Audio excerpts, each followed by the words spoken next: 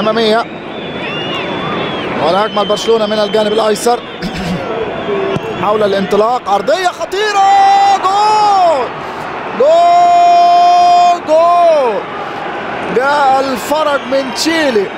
جاء الفرج من سانتياغو رأسا بعرضية البرازيلي وبرأسية أليكسيس يسجل البارسا هدف التعادل المبكر في بداية وفي مطلع الشوط الثاني. هذه الانطلاقة من البرازيلي روعة. شوف الكرة العرضية روعة روعة. لفها من خلف المدافعين خدعت الكل والكرة طبعا خطأ كبير خطأ كبير